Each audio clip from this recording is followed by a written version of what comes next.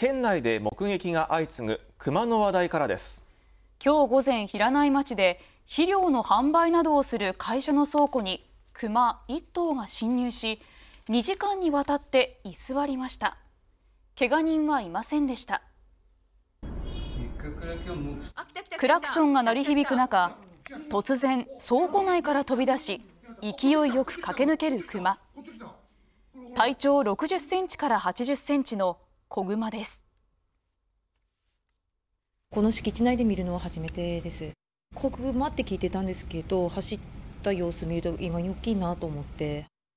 商品の出し入れの時に人が入ってあと業者さんとかも来るのでちょっと今回は場所が場所だっただけに怪我人が出なくてよかったなと思ってます。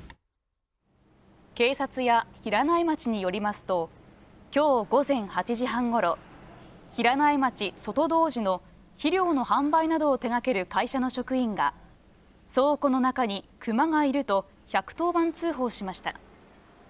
熊は荷物と荷物の間で隠れるようにじっとしていたということです。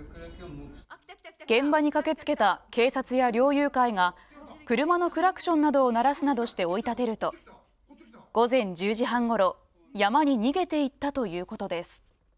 怪我人はいませんでした。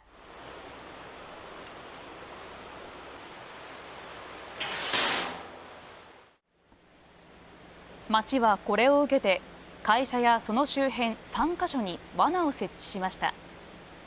警察は熊を見かけたら身の安全を確保しすぐに通報するよう呼びかけています。